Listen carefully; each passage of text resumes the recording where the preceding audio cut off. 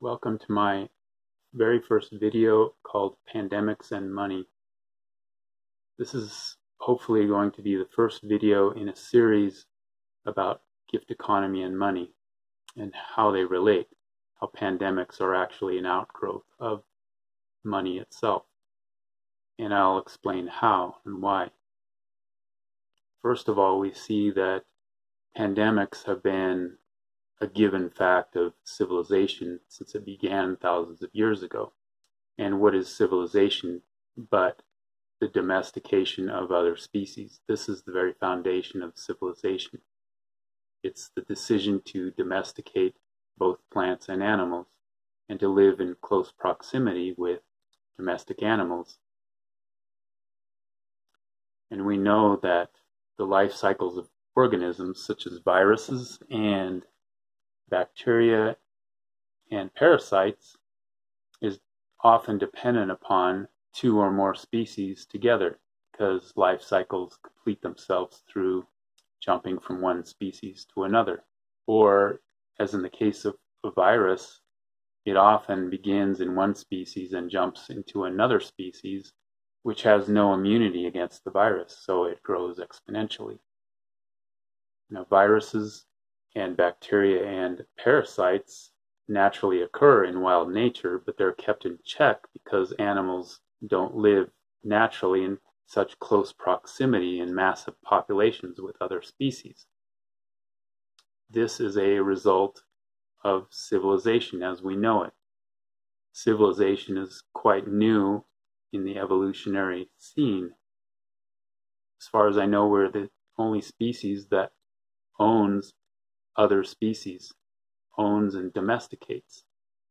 I'm going to cut the euphemisms and call domestication for what it is. It's slavery.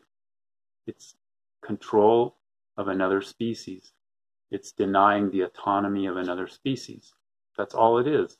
When you domesticate another species, you breed it to be perpetually immature.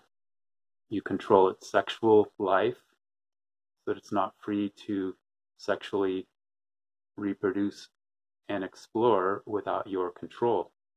And often it's bred to not even reproduce sexually at all. We mow grass before it goes to seed. We can't allow it to reproduce freely. We have to control it. And we own another species because we want to control and reproduce it for food, either food or other utilitarian uses such as riding horses or yokes of oxen pulling plows or dogs providing services. Or the purpose might just be we want a perpetual baby to take care of that we think is cute. And this is what domestication does. It it creates a state of perpetual immaturity in animals because immature animals are easier to control and they're non-aggressive. Especially now we have an inordinate amount of domestic animals and humans as opposed to wild animals. Right now in human history, 96% of biomass of mammals on Earth is domestic animals, and only 4.2% of the biomass of mammals is wild. This is crazy. This is a flip from the way it was only like a thousand years ago. So my theory has been that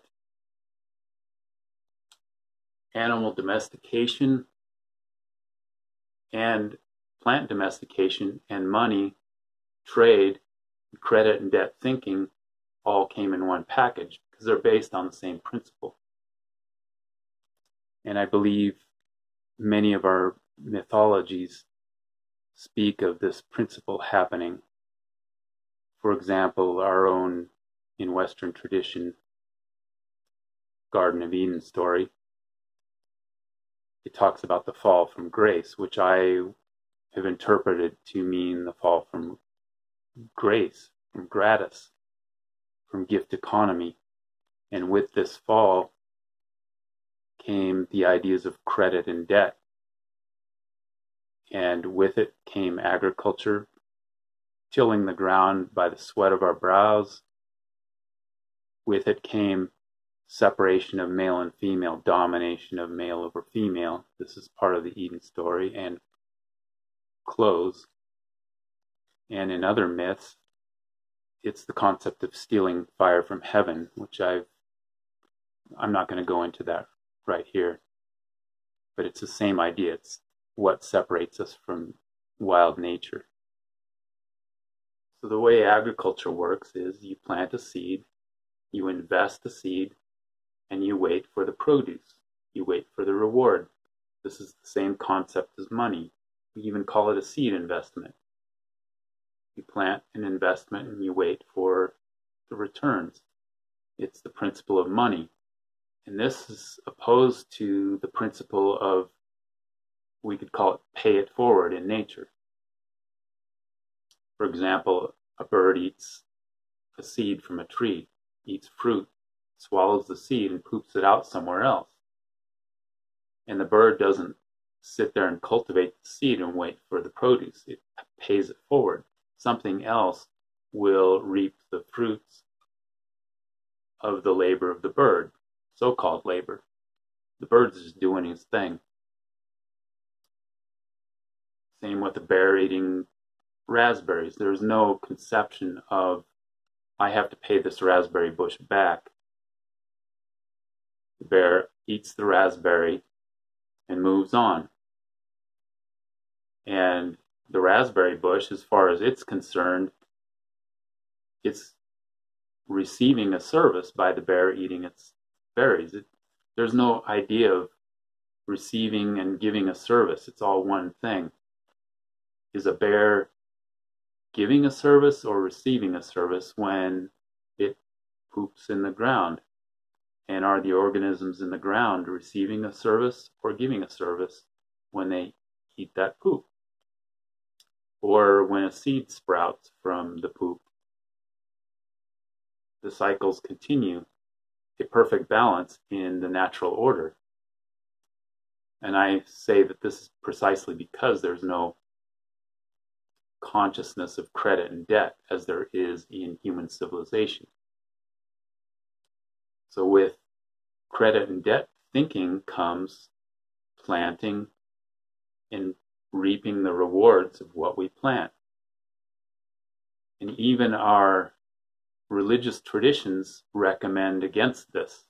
If you want to follow the spiritual path, you give expecting nothing in return. You pay it forward. This is what this is a concept in the Bible. It's a concept in the Quran. It's a concept in the Bhagavad Gita. The Bhagavad Gita is very clear on this. It even calls it relinquishing the rewards or the fruits of your own actions. It actually uses the word fruit as if you're planting a seed.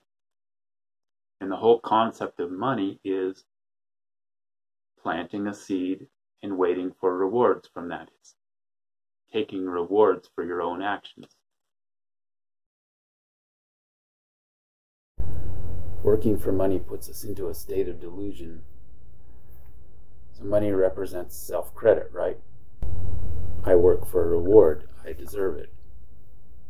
Money represents working for my own reward. And what is reward but praise? And praise, praise and price come from the same root. I work for my own praise, I work for my own price.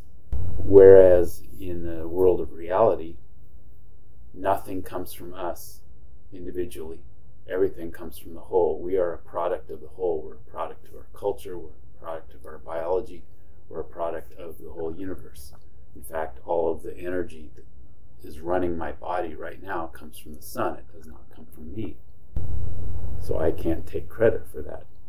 So basically, not working for money is acknowledging all credit to the whole, all credit to the all, all praise to the all. Hallelujah. And Jesus himself even said, I can do nothing of myself. This is the very principle of not working for money. Also, what comes with this thinking is ownership That's what domestication is. It's ownership of animals and plants and the processes of nature. It's control over the processes of nature that already instinctively, naturally happen. For example, in in our civilization, we have an aversion to anything that's wild. We keep wild separate from us. And we don't allow it within the walls of our civilization. Just walk around any suburban neighborhood and see how many people obsessively get rid of weeds because weeds are wild or feral, they have their own authority. Civilization, domestication cannot stand us having our own authority. We have to go to somebody else for authority. We can't allow any other species to have its own authority within the walls of civilization. What we don't understand is we are as domesticated as the creatures we domesticate. In fact, there's no reason any creature would want to domesticate another creature unless it is immature. It is immaturity that causes us to own another creature, whether it's slavery of humans or slavery of animals. And we become what we control. So the authorities that we put ourselves in submission under, our authorities also are domesticated and immature. Is what mature person would want to control another? What mature person would want to deny another autonomy self authority. Now our agriculture has evolved into factory farming, massive amounts of animals in inhumane conditions living together and in close proximity with us. Another thing that comes with domestication is overpopulation. We overpopulate the domestic animals that we raise, we overpopulate ourselves. And also, what I believe comes in the same package as money in agriculture, domestication, is cancer. Cancer has been shown to exist in prehistory from fossil findings, but it looks relatively rare until civilization comes along, and then all of a sudden cancer is found all over in the civilized world. This is just a hunch, this is intuition, but I feel like cancer and monetary civilization also come together. That cancer is a manifestation of money thinking. The only two things that I can think of that think that unlimited growth is a virtue are cancer and monetary economy. Go to any city or county council meeting and what's the one thing that nobody no one will dare question and its unlimited growth. If your economy is not growing perpetually, then we think there's something wrong. And the only other organism that I can think of that thinks this way is cancer, if you can call it thinking. It runs on the principle of exponential growth. The cancer, economy, human population, and even CO2 levels in the climate they all grow exponentially and they coincide together. There is a correlation. And with overpopulation of both humans and animals comes pandemics also. Big populations of animals and humans living together breeds pandemics. In addition to this overpopulation of animals in factory farms, is the excessive use of antibiotics and antiseptics and the same thing happens in our hospitals. These extremely sterile environments, of course, weed out the weaker microbes, and the strongest survive by the laws of natural selection. We're creating super germs. We already see this happening in hospitals. We're creating not only pandemics, but super germ pandemics. It's inevitable that we will see more pandemics as time goes because we are the petri dish of pandemics.